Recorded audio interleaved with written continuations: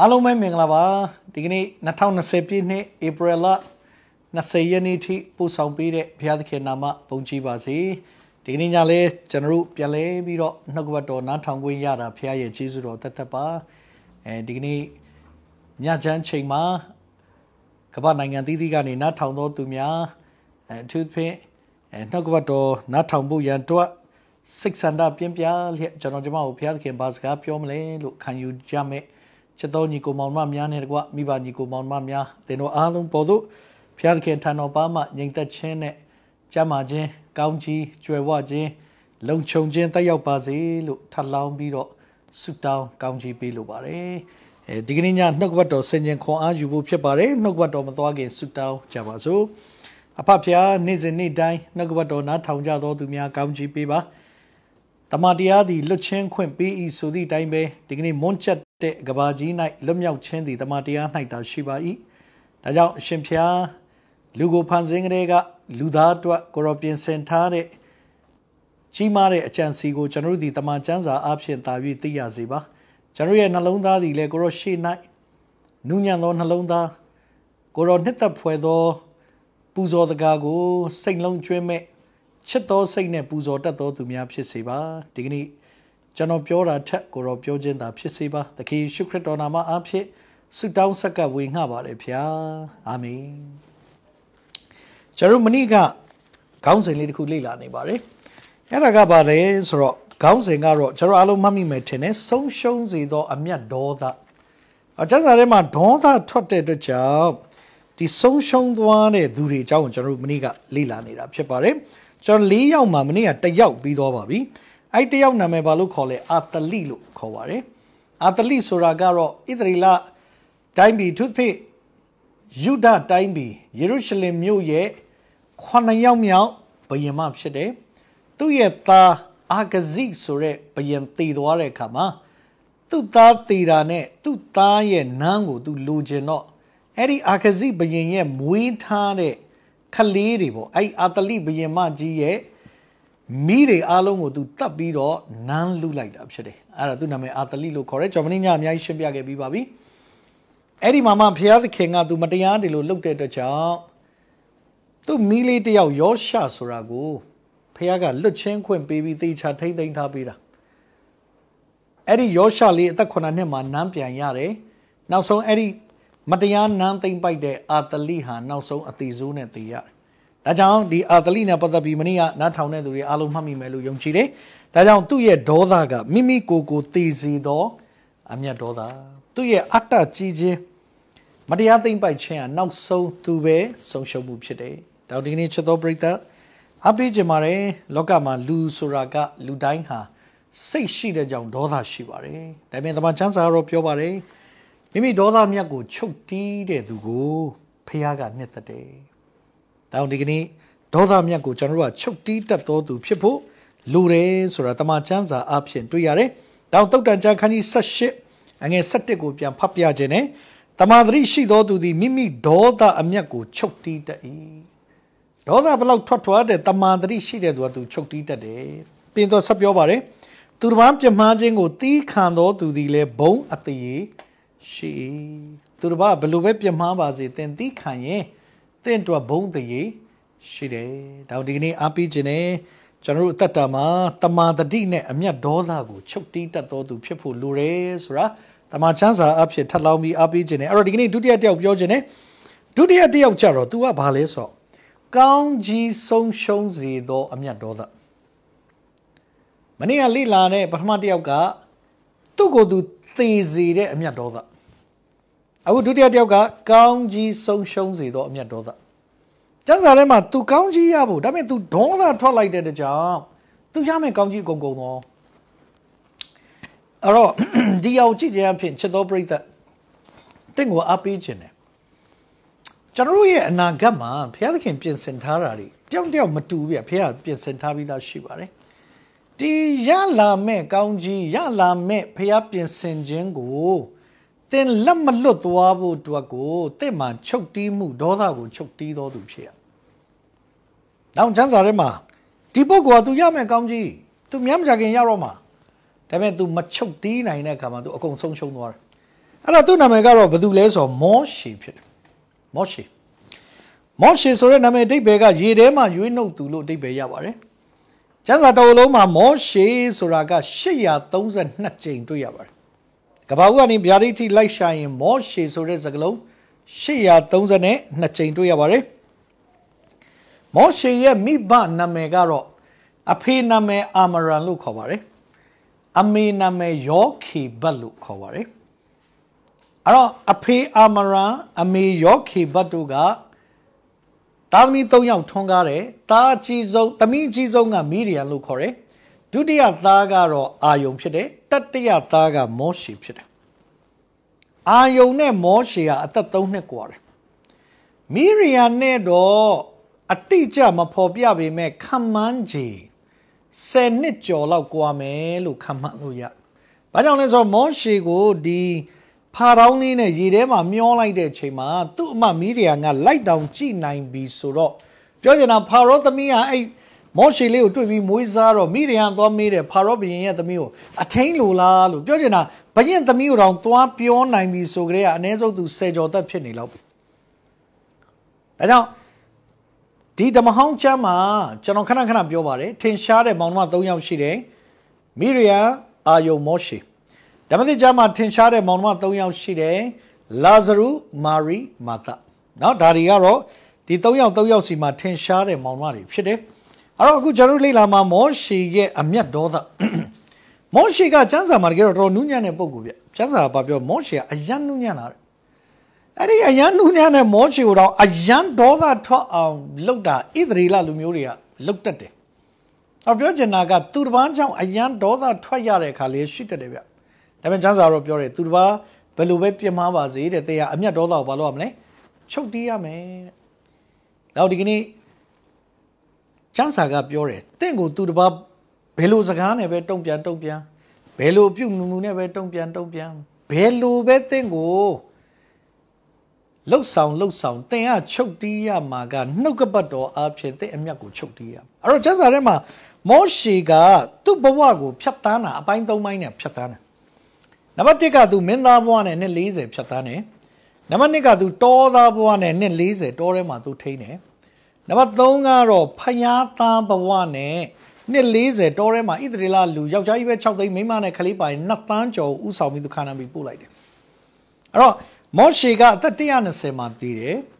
ကျမ်းစာထဲမှာအသက်120အောက်လူတော်တော်များများမောရှေနောက်ပိုင်းမှာအသက်120အောက်ပဲအသက်ရှင်ကြတယ်120အထက်ကရှားတယ်ပဲဒါပေမဲ့မောရှေနောက်ပိုင်းမှာအသက်120အထက်လို့ဆိုလို့ထင်ရှားတာကနံပါတ်1 ယောဘယောဘအသက်140မှတည်တယ်နောက်နံပါတ်2ယောယဒယောယဒအသက်130မှတည်တယ်ဒါမောရှေနောက်ပိုင်းမှာအသက်120အထက်တည်တဲ့ထင်ရှားတဲ့သူနှစ်ယောက်ကယောဘ140မှာသိတယ်ယေဘရယယောယဒဆိုတာတ130မှာသိတယ်ဒါကတော့အသက်ပိုင်း6ကိုနည်းနည်းပြောပြခြင်းဖြစ်တယ်အခုမောရှေဘာလို့အမျက်ထွက်လဲသူ့ရဲ့ဒေါသကြောင့်သူဘာဆုံးရှုံးလဲဒီကနေ့ညကျွန်တော်လေ့လာမှာဖြစ်တယ်အဲ့ဒါကဘာလဲဆိုတော့ ကျမ်းစာထဲမှာမောရှေကဒီကြောက်နဲ့ပတ်သက်ပြီးထင်ရှားတဲ့နှစ်ခုကိုသူဖြတ်တန်းရတယ်အဲ့ဒါဘာလဲဆိုတော့ဣသရေလလူမျိုးတွေတောထဲမှာနှစ်40လဲတဲ့အခါမှာရေပြတ်တဲ့ကိစ္စတွေဖြစ်တဲ့အခါမှာမောရှေကိုဖခင်ကမောရှေအားဖြင့်ပဲဘုံထင်ရှားစေတယ်။ဟိုမှာဆိုတော့မာရရဲ့ရောက်တယ်။ရေခါတယ်။ဘာကြောင့်လဲဆိုတော့ခါတဲ့ရေတောက်ရင်တင်ခါတဲ့ရေအရန်ခါတဲ့ရေတော့တောက်ကြည့်ကြောက်ကပြတ်တော့ကြောက်ကပြတ်တယ်။ကျွန်တော်ကြားဘူးတယ်။ လူငယ်လေးတယောက်ကတဲ့ဒညင်းသီးစားတာဒညင်းသီးကိုကြိုက်လွန်းလို့ဆိုပြီးတရက်ထဲတထိုင်နဲ့ထိုင်စားတာ65လို့65လို့တညင်းသီး65လုံးတထိုင်နဲ့စားပြီးစီးသွားတာသွားလို့မရတော့ပြောကြံကြောက်ကပ်ပြတ်သွားတယ်ဘာကြောင့်လဲဆိုတော့ဖျားခင်ကလည်းနော်ဒါကြောင့်ဟိုတန်ဆေးလွန်ပြီးဆိုရှိတယ်အစမ်းတောက်ကလည်းလွန်ကျူးစွာမလုပ်ရဘူးဒါဒါဒါအန်နေရှိတယ်ဒါကြောင့် စကားလည်းလွန်ကျူးစွာမပြောရဘူးအန်နေရှိတယ်ပြီးတော့ရင်ဆုံးဖြတ်ချက်ကလည်းလွန်ကျူးစွာတခါလေးမဆုံးဖြတ်ဘူးအန်နေရှိတယ်ကျုပ်ဆုံးဖြတ်ချက်မှားသွားလို့ဒုက္ခရောက်သွားတယ်တချို့လွန်ကျူးစွာတခါလေဒေါသအမျက်ထွက်လို့ဆုံးရှုံးသွားတယ်အခုလေသူကဒီ65လုံးစားပြီးတော့နောက်ဆုံးစီးသွားလို့မရတော့ဆေးရုံရောက်ပြီးတော့အဲဒါပေမဲ့သူ့ပြန်လေ့လာတော့အသက်တော်ပြန်ရတယ်ပြောတယ်ဒါပေမဲ့ကြောက်ကမကောင်းတော့ ဒါကြောင့်ဒီမာရရမှာရေခါတော့ဘုရားခင်ပြောတယ်မောရှိတဲ့မင်းအဲ့ဒီတစ်ပင်ကိုခုတ်ပြီးတော့အဲ့တစ်ကိုင်းကိုထဲ့တဲ့ခါပြောချင်တာတစ်ပင်ကိုချိုးပြီးထဲ့တဲ့ခါမှာရေချိုးတယ်အဲ့တော့အဲ့တစ်ပင်ကဘာကိုပုံဆောင်လဲတစ်တိုင်သခင်ရှုကိုပုံဆောင်တယ်ဟောဒီကနေ့ဘဝမှာဘလောက်ခါခါသခင်ယေရှုရဲ့တစ်တိုင်လို့ခေါ်တဲ့ကားတိုင်ကိုဆင်ကျင်တော်သူတို့ချိုမြင်ခြင်းပြန်ဖြစ်တယ် ဒါဒါရေနဲ့ပတ်သက်တာအဲ့တော့ကျမ်းစာထဲမှာမောရှေကဒီကြောက်နဲ့ပတ်သက်ပြီးတော့ရေရအောင်လုပ်ရတာနှစ်ကြိမ်ရှိတယ်ကြောက်မှာ rock နဲ့ stone နဲ့မတူ rock ဆိုတာကြောက်တုံးအကြီးကြီးကျမ်းစာထဲမှာဒီကြောက်ကိုဖျားသခင်ကကြောက်တုံးအကြီးကြီးနဲ့ပတ်သက်ပြီးနှစ်ကြိမ်မောရှေနဲ့ဖျားနဲ့ဖျားလှုပ်ခိုင်းတာမောရှေကဒီကြောက်နဲ့ပတ်သက်ပြီးပထမတစ်ကြိမ်ကဘာလဲဆိုတော့အဲ့ဒါဘာမှဖတ်ရင်တွေ့ရလဲဆိုတော့ ထွမြောက်ကျမ်းခန်းကြီး18တစ်ကနေ9ထိဖတ်ရင်တွေ့ရထွမြောက်ရ18တစ်ကနေ9အဲ့မှာဣသရေလလူမျိုးတွေကတဲ့တိမ်တောကနေထွက်ပြီးရေဖိဒိန်အရက်မှာစခန်းချအဲ့ဒါရေဖိဒိန်ရက်ရောက်တဲ့ခါတဲ့သူတို့ရေပြတ်သွားတယ်အဲ့တော့ရေပြတ်သွားတဲ့အခါမှာသူတို့ကအကြီးကျယ်ပြစ်တင်တာတခါလေးဘဝမှာလေပြတ်တောက်သွားတဲ့အခါမှာအပြစ်မတင်ရဘူးဗျပြတ်တောက်သွားတဲ့အခါဖယားဘာအချမ်းစီရှိလဲဆိုတာစောင့်မျှော်ရတယ်။ တောင်ကျမ်းစာမှာကြည့်ကြည့်ဗျယောက်ျားကြီးပဲ6သိန်းတော့မိန်းမနဲ့ကလေးပါရင်2တန်းကျော်တဲ့ဣသရေလလူမျိုးတွေတောထဲမှာ240ပတ်တာနော်။အဲ့လူ2တန်းကျော်မှာဖယားနဲ့တကယ်မိသဟာယမှန်တာလေအယောက်340မပြည့်ဘူးမောရှေတယောက်ပဲပြောချင်တာမောရှေရပဲတခုဆိုသူအပြစ်မတင်ပဲဖယားအချိန်ကိုစောင့်ဒီမောရှေမျက်နှာကြည့်ပြီးဖယားကြွေးတာအခုလေဒီမှာကြည့်သူတို့အပြစ်တွေတင်တော့ဘလောက်တောင်အချိန်နေဆိုးလဲဆိုတော့ကျွန်တော်ဖတ်ပြဘလောက်တောင်ပြစ်တင်လဲထွတ်မြောက်ကျမ်းခန်းကြီး18အငယ်၄မှာ ထိုအခါမောရှေသည်ထောက်ပြကိုအော်ဟစ်၍ဤလူတို့သည်ကျွန်ုပ်ဤလူတို့ဟာကျွန်ုပ်သည်ဘယ်သို့ပြုရပါမည်နည်းအကျွန်ုပ်ကိုဂဲနဲ့ပြစ်လူကြပါပြီဟုရှောက်ဣသရေလလူမျိုးတွေကမောရှေအဖြစ်တို့ကတကယ်တော့ခါနာပြီးသွားနေတာပါပြောချင်တာမောရှေရဲ့ဥဆောင်မှုအောင်မှတို့သွားတဲ့အခါမောရှေကလည်းကောင်းဆုံးတို့ဥဆောင်သွားပါတယ်ဒါပေမဲ့တကယ်ခက်ခဲဝင်လာတော့တဲ့အဲ့ဒီခေါင်းဆောင်ဖြစ်တဲ့မောရှေတော်ဂင်းနဲ့ပြစ်မတက်ဖြစ်တယ် ဖျက်ခင်သူပြောဟာကိုရောတဲ့သူတို့ကျွန်တော်ဂင်းနဲ့တော့ပြစ်တော်မယ်တဲ့တောင်လူရဲ့သဘောဟာဒီပြတ်တောက်ရင်အစင်မပြေရင်အပြစ်မြင်တတ်တဲ့သဘောရှိတတ်တယ်ဒါပေမဲ့ကျွန်တော်တို့ကဖျားသားသမီးသဘောဆိုတာခက်ခဲသည်ဖြစ်စေပြည်လေသည်ဖြစ်စေအချစ်မြင်တတ်ရတယ်အာမင်တောင်သူတော်သည်တဲ့ကိုထက်သား၍ကောင်းသည်ဟု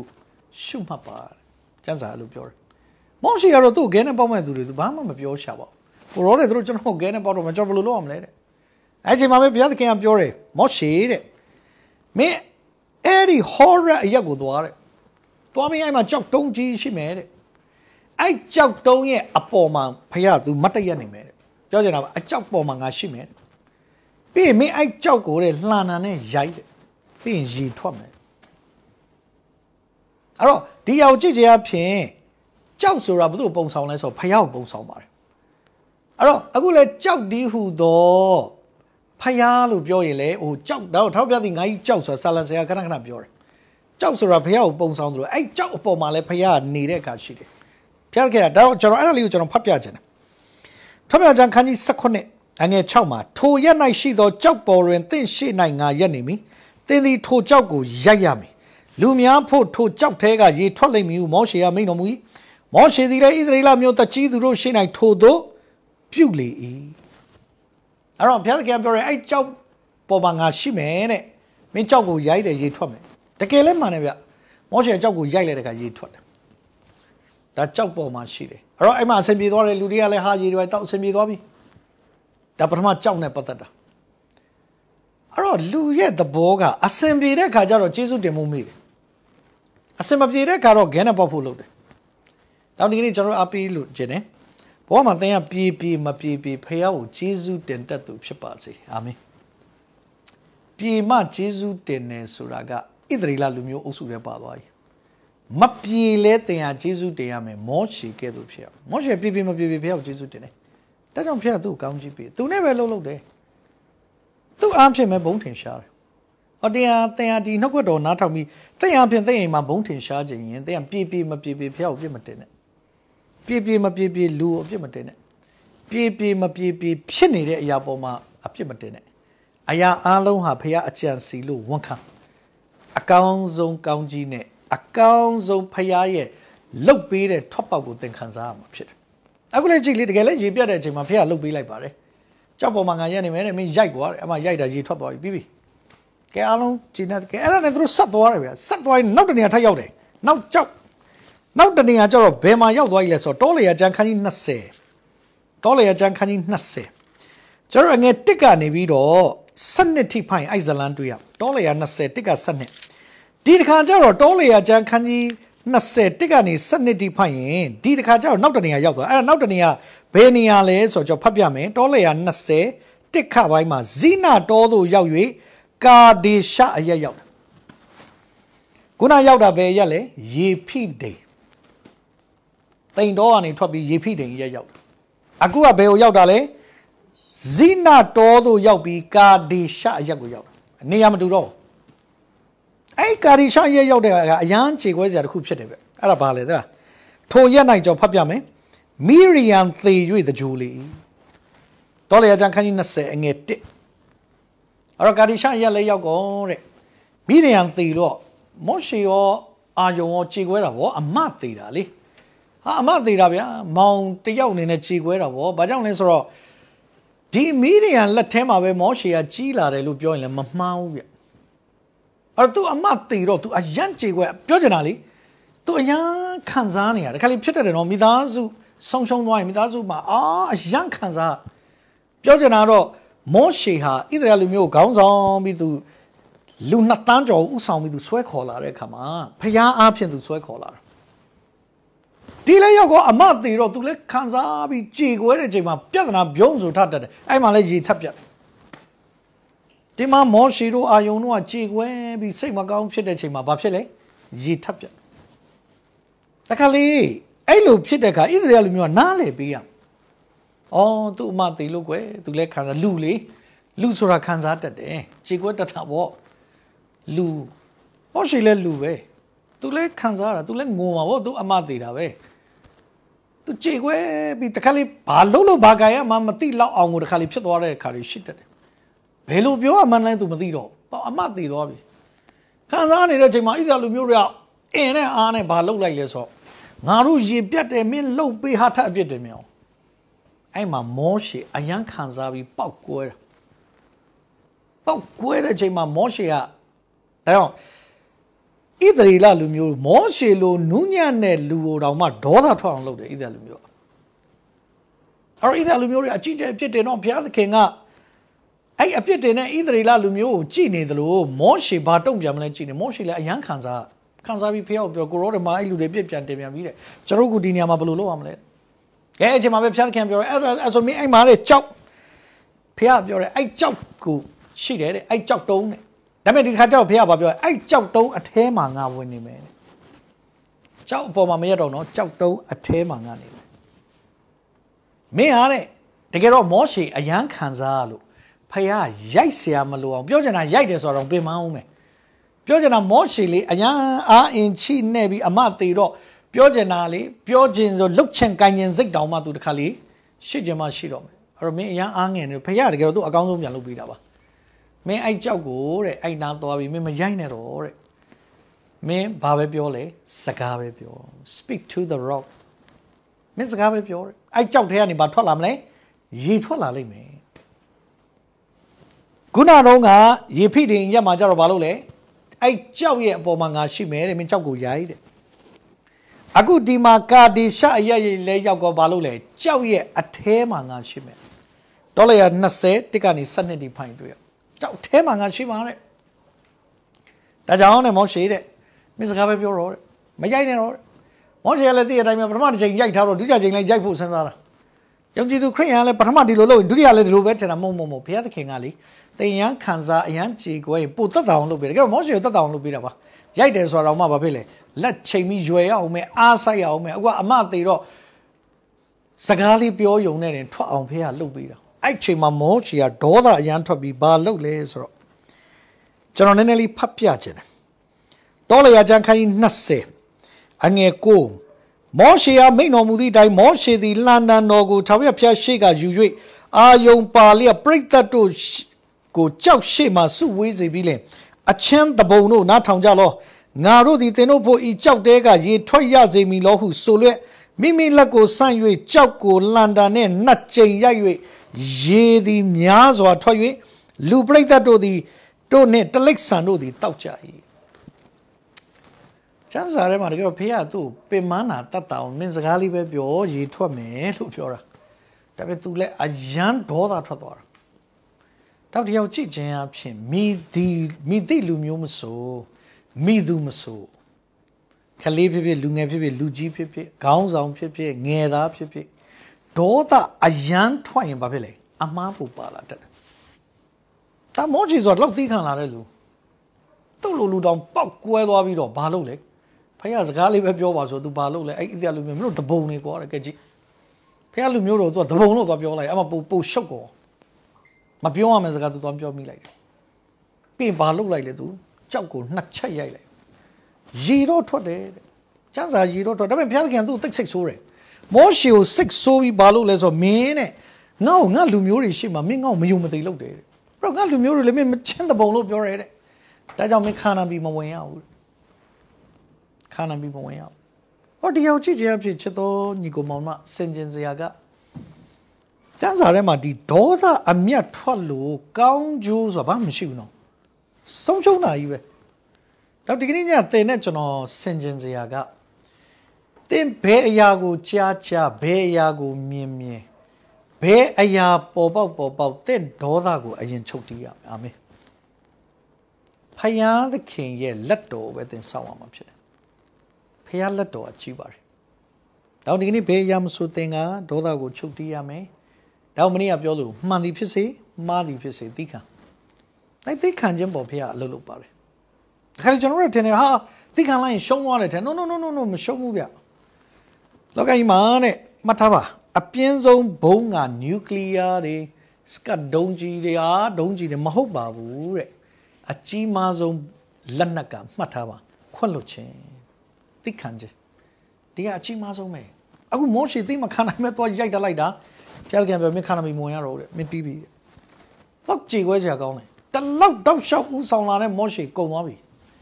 နောက်ဒီနေ့ဒီရောက်ကြည့်ကြဖြစ်မောရှေလိုလူတောင် အမျက်ဒေါသကို မချုပ်တီးနိုင်ဘူးဒါသင်ခန်းစာရထားတယ်နောက်ဒီကနေ့သင်ဟာမောရှေတော့မဟုတ်ပြီမဲ့သင်ဟာဖျားသားမိဖြစ်တယ်အာမင်ဖျားသားမိဟာအမျက်ဒေါသချုပ်တင်းရမယ်ဘုရားနာမဘုန်းကြီးပါစေဘာကြောင့်လဲဆိုတော့သင်ရမယ့်အရာအကုန်ဆုံးရှုံးသွားမှာဟုတ်မောရှေကြည့်နေ40ဦးဆောင်လာပြီးခါနာပြီးဝန်ခံနေကြမှာသူသေသွားဘာကြောင့်လဲသူဒေါသအမျက်ကြောင့်နောက်ဒီကနေ့အားပေးခြင်းတယ်အသက်တာမှာသင်ရကန်ဒီကောင်းကြီးဟာနတ်ဖန်လည်းသင်ရမှာနိုင်တယ်နော် နောက်တနေ့လည်းရနိုင်တယ်နောက်လလည်းရနိုင်တယ်နောက်နှစ်ဒီချိန်မှာလည်းသင်အတွက်ဖះလှုပ်ထားတဲ့အချမ်းစီရှိမယ်အဲ့ဒါကိုသင်တည်ကဆုံးဖြတ်ချက်မှားမှုနဲ့မလဲလိုက်နဲ့ဒါဝိကြည်ကြီးဘာသရှိဘရေချိုးတာတော့တည်ကလေးตาယာမှုနဲ့ကြည့်ပြီးလဲလိုက်တာဒါဘီနဲ့တစ်လုံးပြည့်ရတော့ဒီကနေ့ဘဝမှာတင့်ရဲ့ကြီးတဲ့ကောင်းကြီးကိုတည်ကနဲ့မလဲဖို့အပေးခြင်းနဲ့ဒေါသဆိုတာမှတ်တာတည်ကဖြစ်တာ ဒါပေမဲ့ပြီးဆက်လိုက်ရတာနှစ်နဲ့ချီပြန်ပြီးဆက်ရတာ။တောင်ကျွန်တော်ကအမြတ်ဒေါသကိုဘာလို့တက်ရလဲ။ချုပ်တီးတက်ရတယ်။ဖြစ်ပျက်လေးတစ်ခုပြောပြခြင်းတယ်။တကယ်ဖြစ်ပျက်ပြက်ကမ္ဘာပေါ်မှာတကယ်နိုင်ငံတနိုင်ငံမှာဖြစ်သွားတဲ့ဖြစ်ပျက်လေးပေါ့နော်ဒါလေးကိုပြောပြခြင်းတယ်။2000ခုနှစ်ကျော်ကျော်လောက်မှာသာသနာပြုဆရာကြီးတယောက်က သူ့ဇနီးတဲ့သူ့သားလေးနှစ်ယောက်နဲ့သူနဲ့ကသူတို့နိုင်ငံကနေအခြားနိုင်ငံကိုသွားပြီးသူတို့သာသနာပြုတယ်။အဲ့တော့ဒီသာသနာပြုဆရာကြီးအခြားနိုင်ငံကိုသူသာသနာပြုတော့အဲ့ဒီနိုင်ငံရဲ့ရွာလေးတရွာမှာသူတို့ကအဲ့လိုပေါ့ဘင်္ဂလိုလိုတက်ခိုကန်လိုအဲ့လိုအင်းလိုအဲ့လိုပေါ့နော်အဆောက်အဦမှာသူတို့ကငှားနေတယ်။နေပြီးတော့သူတို့ကဘာလုပ်လဲဆိုတော့သူတို့မြို့ပေါ်တက်ပြီးအဲ့ဈေးမှာသူတို့ဝီဇာလေးတွေလိုက်ဝေတယ်။လိုက်ဝေတော့တနည်းသောအခါမှာစနေတရုံးနေအဲ့လိုရုံးပိတ်ရက်လိုနေမျိုးမှာ ဒီသာနာပြုဆရာကြီးကသူတဲတဲ့နေရာကနေသူကားလေးမောင်းပြီးတော့သူ့သားလေးနှစ်ယောက်ရဲ့ဝီဇာတွေရဲ့သူအေးဝင်ကလေးတရားဟောတယ်ပေါ့ပြောချင်တာအေးဝင်ကလေးဝေငှတယ်နှုတ်ကပတ်တော်ဝေငှတယ်အဲ့တော့ तू ကဘာလုပ်လဲဆိုတော့သူ့ဇနီးကို तू ကအဲ့တဲတဲ့နေရာမှာထားပြီးသူကကားနဲ့အဲ့ဈေးကိုတက်သွားတယ်တက်သွားပြီးတဲ့အခါဝီဇာလေးတွေဝေးပြီးဘုရားသခင်ကောင်းမြတ်ကြောင်းကိုပြောတယ်ဗျပြောရဒီသာသနာပြုဆရာနဲ့ဒီသားလေးနှစ်ယောက်ကိုလူတစုကလုံးဝအကြီးကျယ်ဒေါသထွက်ပြီးတော့ ဘာလုပ်လိုက်လဲဆိုတော့သူတို့ကအဲ့နေ့မှာဖြစ်ချင်တော့သူတို့ကသွားပြီးညနေဆောင်တော့သူတို့ကမပြန်မဲအဲ့ဈေးမှာပဲသူတို့ကအဲ့ကားပေါ်မှာပဲအိတ်လိုက်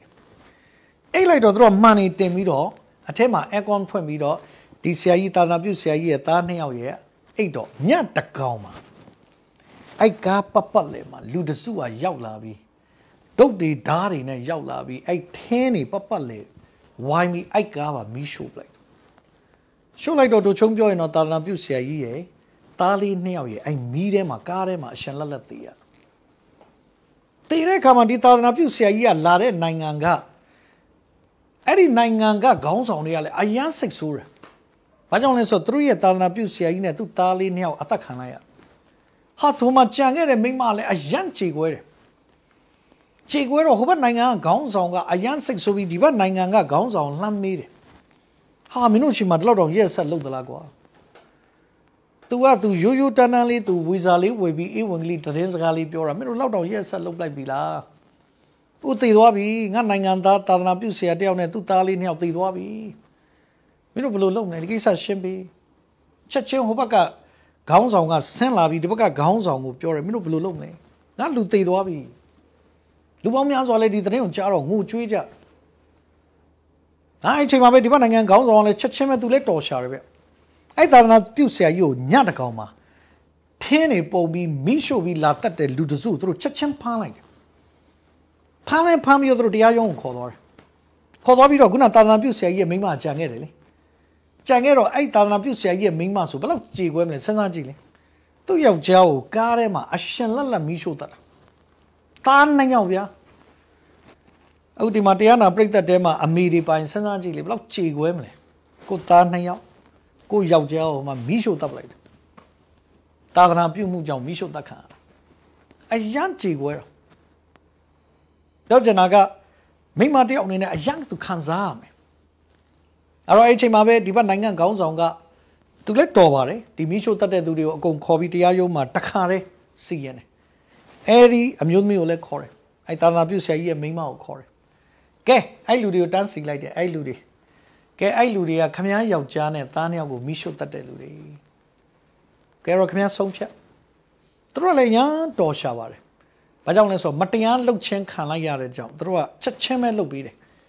ကဲခင်ဗျားဆုံးဖြတ်ဒီလူတွေကိုခင်ဗျားဘာလှုပ်ချင်လဲပြောတေတံပေးဆိုလဲပေးမယ်ဘာကြောင့်လဲဆိုတော့ဒါကတကယ့်ကိုဟိုပြောချင်တာကမတရားမှုဖြစ်သွားတဲ့ကြောင့်ဟာခင်ဗျားတေတံပေးချင်လဲပေးမယ်ပြောချင်တာဟာတကယ့်အကောင်းဆုံးသူ့ဘက်ကနေအကောင်းဆုံးလုပ်ပေးမှာ ခင်ဗျားဘာလှုပ်ချင်လဲထောင်ချခြင်းဆိုလဲချပါဒါပြောချင်တာကမတရားမှုဖြစ်တဲ့ကြောင့်စီရင်ပေးမယ်လှုပ်ပြောကဲပြောတာနာပြုဆရာရဲ့မိမကဲပြောခမည်းယောက်ျားကိုတတ်တဲ့လူတွေပဲအဲ့ဒါတွေကခက်ပါလုံးမလဲဟာလူတွေကအိုးကြွကြွအရန်စိတ်ဝင်စားတယ်ဒီမျိုးသမီးဘယ်လိုဆုံးဖြတ်မလဲတင်းနဲ့ကျွန်ုပ်ဆိုရင်အဲ့နားမှာဆိုဘယ်လိုဆုံးဖြတ်မလဲအဲ့ချိန်မှာပဲဒီမျိုးသမီးကမတ်တရက်ပြီးစကားပြောတယ်ကျမယောက်ျားနဲ့ကျမသားလေးနှစ်ယောက်ကိုဒီမီးရှို့တတ်တဲ့ဒီလူတွေ အဲ့လူ10ယောက်ကျော်လောက်ရှိတယ်အဲ့လူတွေကလည်းလက်ထိတ်တွေနဲ့အားလုံးကဒီမျိုးသမီးပြောတဲ့အတိုင်းသူတို့စီရင်ခံရမှာလေသူတရားမျှတအောင်လုပ်ပေးနေပြီဒီဘက်ကောင်းဆောင်ကဟိုလူတွေကလည်းကြောက်လန့်နေပြီသူတို့သေတံတော့ပြီးတော့မှာပဲဒါမှမဟုတ်ထောင်တစ်သက်ကြုံချခိုင်းမှာပဲစသဖြင့်ဒါပေမဲ့ဒီမျိုးသမီးကမတ်တရက်ပြီးမျက်ရည်ကျပြီးစကားပြောတယ်ကျမယောက်ျားနဲ့ကျမသားနှစ်ယောက်ကိုတတ်တဲ့ဒီလူတွေကိုကဲပြိသက်တွေမြင်ပြီးကျမလည်းတွေ့တယ်ဒါပေမဲ့ကျမအယမ်းခံစားရတယ် ယောက်ျားခလေးနှစ်ယောက်တည်သွားပြီပြန်မရတော့ဘူးပတ်စံမဟုတ်ဘူးအစားထိုးလို့မရတော့ဘူးအစားထိုးလို့မရအောင်လုပ်လိုက်ပြီဒေါသရဲ့ပောက်ကွဲမှုကသူတို့လူတစုရဲ့ပောက်ကွဲမှုအောင်မှမိသားစုတစုပြုတ်ကွဲသွားပြီအော်ဒီဆရာမကသာနာပြုဆရာရဲ့မိမပြောပါတယ်ကျမဒီလူတွေကိုတေတံပေးခိုင်းလဲဒီမှာတေတံပေးမှာပဲတဲ့ကျမပြောတဲ့အတိုင်းသူတို့ဘဝလည်းအဲ့တော့ကျမသာဒီလူတွေကိုတေတံပေးခိုင်းလို့ ဒီလူတွေတေသွားရင်သူတို့မိမအားလုံးကျမလို့မုတ်ဆိုးမှဖြစ်မယ်ဒါကြောင့်ကိုချင်းစာစိတ်ဆိုတာအဲ့ဒါကျမလို့မုတ်ဆိုးမှဖြစ်သွားမှာတဲ့ရှင်တို့ရဲ့သားသမီးတွေကဖခင်မဲ့သွားမယ်ကျွန်မမလူလားဘူးတဲ့ဒါကြောင့်ဒီလိုလောက်ရဲ့မျိုးနောက်လူတွေကိုမလုတ်ဘူးဆိုရင်လွတ်ပေးလိုက်ပါတောင်ဒီတရားရုံးမှာလာတဲ့သူအားလုံးကမျက်ရည်ကျတယ် ဒီမျိုးမီးရဲ့ခွန့်လွန်ချင်းတောင်းတောင်းချစ်တော်မိတ်ဆွေတင်တောင်းယုံတောင်းမလုံနိုင်တဲ့အရာတော့သူလုတ်ပြတယ်မျက်ရည်ကျအဲ့ဒီတရားခံတွေအကုန်မျက်ရည်ကြတယ်ငါတို့ကသာသူ့ယောက်ျားနဲ့သူ့ကလေးနှစ်ယောက်ကိုမီးရှို့ပြီးစဉ်းစားကြည့်နော်အထဲမှာကားထဲမှာသူတို့ဘလောက်ကြောက်လန့်ပြီးသိမလဲသူတို့ရေမောပြီးမီးရှို့တပ်လိုက်ပေမဲ့သူ့ဇနီးတွေကတော့ငါတို့ဘဝကိုပြန်ကဲတင်တယ်တောင်းဒီကနေ့ချက်တော်ပြိတ္တာအဲ့ဒီသာသနာပြုဆရာမရဲ့ အဲ့ဆရာကြီးရဲ့မိန်းမအဲ့ဆရာကတော်ရဲ့ဆုံးဖြတ်ချက်ကလေအယံအံ့ဩစရာကောင်းတယ်နိုင်ငံခေါင်းဆောင်တွေကြီးတွေရှိနေတွေလာတဲ့ပြိတ္တာအကုန်အံ့ဩသွားတယ်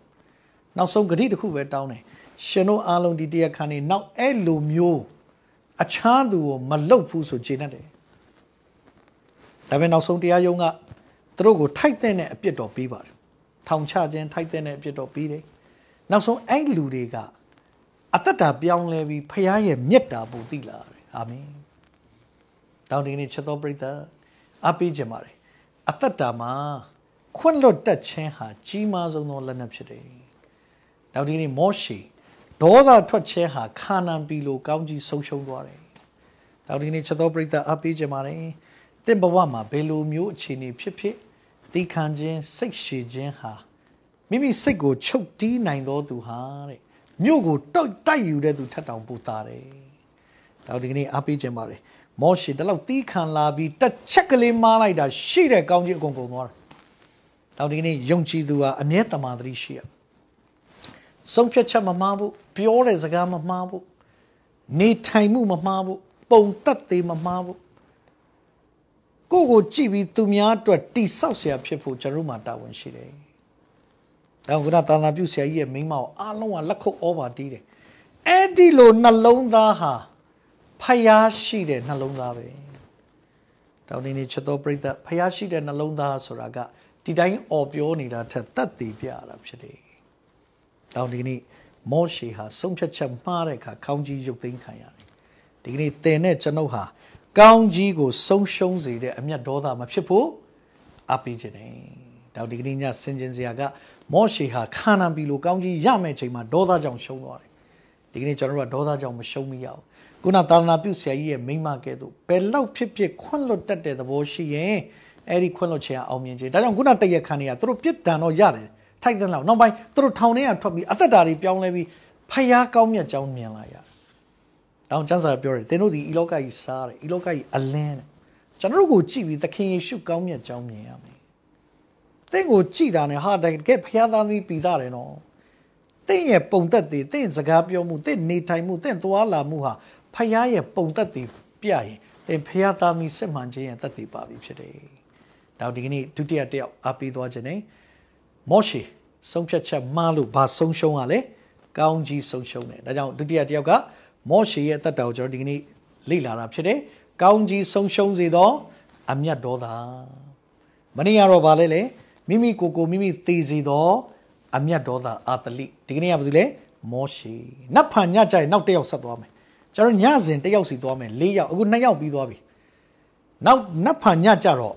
သူကြတော့သူ့ရဲ့ဒေါသအမျက်နည်းနည်းလေးအမီလေးပေးခြင်းတယ်ပြောချင်တာကအမီလေးဆိုတာဟိုနိဒန်းလေးပြောပြခြင်းတယ် तू က तू ထွက်လိုက်တဲ့ဒေါသမြတ်ကသူ့မျိုးဆက်တစ်စက်လုံးဒုက္ခရောက်သွားတာ